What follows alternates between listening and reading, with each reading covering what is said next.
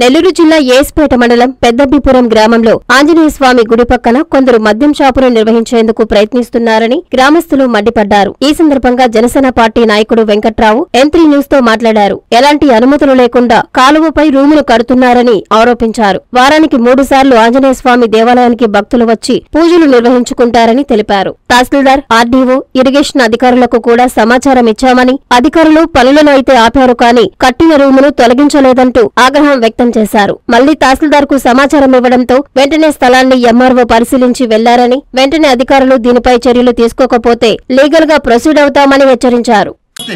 నేను మీ వెంకట్రావు జనసేన పార్టీ పెద్దపీపురం గ్రామ పంచాయతీ ఏఎస్పేట మండలం నెల్లూరు జిల్లా. ఈ రోజు విషయం ఏమిటంటే మన పెద్దపీపురం గ్రామ పంచాయతీకి సంబంధించి ప్రధానంగా రైతాంగానికి ఉపయోగపడేటువంటి రెండు చెరువులు కలవు. దానిలో ఒకటి చిన్నబిపురం చెరువు. ఈ చిన్నబిపురం చెరువుకు సంబంధించి నీరు వచ్చేటువంటి ప్రధాన కాలువలో ఒకటైనటువంటి ఆ కాలువని మన గ్రామానికి చెందినటువంటి ఊచ తిరుమలరావు మరియు దొంగల మాలకొండయ్య అనే ఇద్దరు వ్యక్తులు భూమిని కబ్జా చేసి ఆ కాలువ ప్రాంతంలో ఒక నిర్మాణాన్ని కట్ట తలపెట్టినారు. ఇది పదిహేను రోజుల క్రితం జరిగిన విషయం. కానీ ఇది ఎందుకు చేస్తున్నారు ఏం చేస్తున్నారు అని చెప్పేసి నేను గ్రామస్తులని విచారించగా గ్రామస్తులు నాకు తెలియజెప్పిన విషయం ఏంటంటే వీరు ఇక్కడ ఏదైతే రూమ్ కడుతున్నారో ఆ రూమ్ కట్టి భవిష్యత్తులో ఇక్కడ బెల్ట్ షాప్గా దీన్ని అక్రమ మద్యాన్ని విక్రయించే కేంద్రంగా దీన్ని తయారు చేయాలని అదేవిధంగా గంజాయి కేంద్రంగా దీన్ని తయారు చేయాలనే విషయాలు నాకు వెలుగులోకి వచ్చాయి. కానీ ఇక్కడ మనం గమనించాల్సిన విషయం ఏంటంటే వీళ్ళు ఎక్కడైతే రూమ్ కడుతున్నారో ఆ రూమ్కి కనీసం ఒక ఇరవై అడుగుల దూరంలో ఆంజనేయ స్వామి విగ్రహం ఒకటి ఉంది. మన గ్రామస్తులు ప్రతి ఒక్కరు కూడా ఆంజనేయ స్వామి విగ్రహానికి దగ్గరికి వారంలో కనీసం మూడు రోజులు చిన్నలాని చిన్నలు గాని పెద్దలు గాని ఆడవాళ్ళు గాని ముసలి వాళ్ళు గాని ప్రతి ఒక్కరూ వారంలో మూడు రోజులు వచ్చేసి వారు ముక్కులు తీర్చుకునేటువంటి స్థలం ఇది. కాబట్టి దీని గురించి వీరు ఆ కట్టడాన్ని ముందుకు తీసుకోకూడదు అనే ఉద్దేశంతో నేను ఎంఆర్ఓ దృష్టికి అదేవిధంగా ఆర్డీఓ గారి దృష్టికి అదేవిధంగా ఇరిగేషన్ అధికారులైనటువంటి డిఈ గారు ఏఈ గారి దృష్టికి తీసుకెళ్ళడం జరిగింది.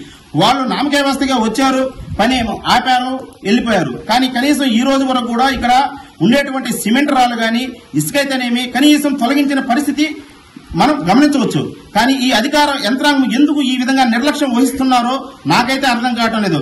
కానీ ఇప్పటికైనా మించిపోయింది ఏమీ లేదు. కనీసం ఇప్పటికైనా అధికార యంత్రాంగం కనీసం ఆలోచించి వచ్చి ఈ అక్రమ కట్టడాన్ని తొలగించి గ్రామ చెరువుకు నీరు వచ్చే విధంగా సహకరించగలరని అదేవిధంగా ఇక్కడికి ఆంజనేయ స్వామి విగ్రహం దగ్గరకు వచ్చేటువంటి చిన్నలకి పెద్దలకి ప్రతి ఒక్కరికి మీరు మేలు చేసిన వాళ్ళుగా ఉండాలని చెప్పేసి నేను కోరుకుంటున్నాను.